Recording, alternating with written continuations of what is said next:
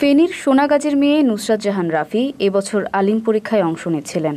Sonagazi Islamia senior ফাজিল মাদ্রাসার ছাত্রী ছিলেন তিনি। ওই মাদ্রাসার অধ্যক্ষ এস এম সিরাজউদ্দৌলার বিরুদ্ধে শ্লীলতাহানির অভিযোগ এনে গত মার্চে সোনাগাজী থানায় একটি মামলা করে নুসরাতের পরিবার।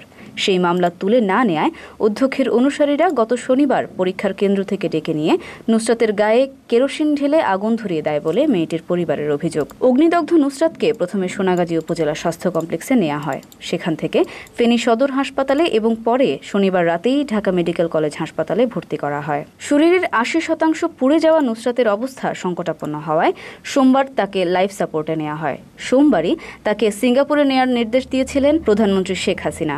ঢাকা মেডিকেলের চিকিৎসকরা নুসরাতের শারীরিক অবস্থা নিয়ে সিঙ্গাপুরের চিকিৎসকদের সঙ্গে কথা বলেন। বিভিন্ন মেডিকেল রিপোর্ট পাঠানোর পর ভিডিও কনফারেন্সে তাদের কথা হয়। এই অবস্থায় নুসরাতকে না পাঠানোর পক্ষে মতামত দেন সিঙ্গাপুরের চিকিৎসকরা। পাঁচ দিন ধরে তাকে বাঁচানোর আপ্রাণ চেষ্টায় ব্যর্থ হয়ে বুধবার রাত সাড়ে নয়টার দিকে নুসরাতকে মৃত ঘোষণা করেন ঢাকা মেডিকেলের বার্ন ইউনিটের সমন্বয়ক সামন্তলাল সেন। মেয়েটির মৃত্যুতে শোকের ছায়া নেমে এসেছে বিভিন্ন সামাজিক যোগাযোগ মাধ্যম সহ সারা দেশে। মেয়েটির মৃত্যুতে গভীর শোক জানিয়েছেন প্রধানমন্ত্রী শেখ হাসিনা।